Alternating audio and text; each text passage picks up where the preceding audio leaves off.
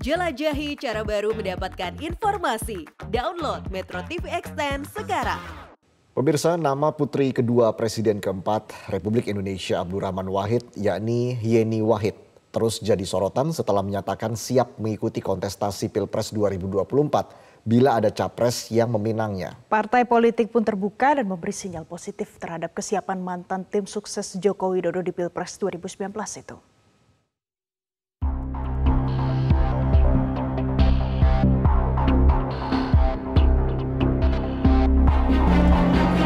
Kesiapan putri kedua Presiden keempat RI Abdurrahman Wahid, yakni Yeni Wahid, untuk ikut terjun di Pilpres 2024 ternyata juga disambut positif oleh poros koalisi pengusung Ganjar Pranowo. Ketua DPP PDI Perjuangan Puan Maharani mengaku membuka peluang terhadap Yeni untuk masuk ke dalam bursa bakal cawapres Ganjar dan kalau dari Mbak Puan gimana ya Mbak melihatnya? Ya tanya Mbak Yeni, kami terbuka untuk uh, masuknya nama-nama dalam uh, list yang nanti akan menjadi calon dan cawapres. Komunikasi Mas Ganjar dengan Mbak Yeni, PDIP melihatnya seperti apa Pak? Saya rasa nggak ada masalah ya. Saya kemarin ketemu sama Mbak Yeni, ya semuanya oke-oke aja. Kendati demikian, saat ini baru Partai Nasdem yang berdiskusi kepada Yeni terkait kontestasi Pilpres 2024. Diskusi tersebut bukan berarti Nasdem memaksakan Anies meminang Yeni menjadi cawapres. Nasdem tetap memberikan hak penuh kepada Anies untuk memilih pendamping yang tepat.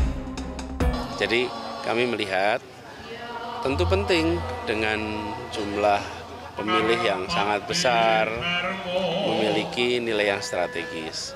Karena itu kami sampaikan bahwa ikhtiar yang diamanatkan pada kami itu adalah ikhtiar untuk membawa misi. Misinya apa? Menghadirkan rasa keadilan. Dan kami berharap kabupaten, kota, perdesaan yang mungkin perhatian untuk pembangunannya kurang itu akan menjadi prioritas. Dan itulah sebabnya Jawa Timur menjadi penting. Karena kita ingin Jawa Timur juga maju bukan hanya di kotanya, tapi juga di desa. Beberapa hari ini saya mampir ke kampung nelayan, ke kegiatan pertanian, peternakan, perkebunan, dan kita menyaksikan bahwa di sektor-sektor itu perlu tambahan perhatian yang serius perlu dukungan yang serius, apalagi kalau sampai pada sektor perikanan. Apakah itu mengisyaratkan Pak bahwa nanti cawapres Anies itu dari Jawa Timur begitu Pak Anies? Nanti pada waktunya diumumkan. Yeni Wahid dikenal sebagai tokoh perempuan dari Nahdlatul Ulama.